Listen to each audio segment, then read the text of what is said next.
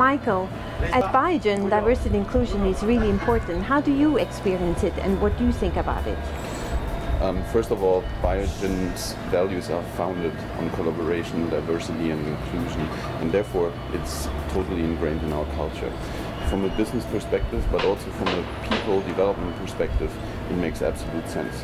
Um, therefore woman equality is, uh, is an important value that we strive for here at Biogen.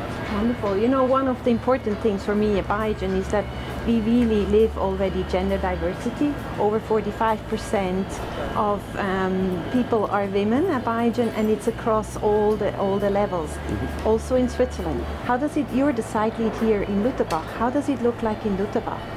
In Luterbach, in our newest manufacturing facility, we currently employ 35% talented women in various levels across the organization in all of our departments like supply chain, engineering, facilities management, etc. Um, from these 35% highly talented women, we have 24% in leadership positions, but we strive to close that gap uh, and have 40% of women leaders in our organization by 2020. That's a great goal and you can count on me. Thank you.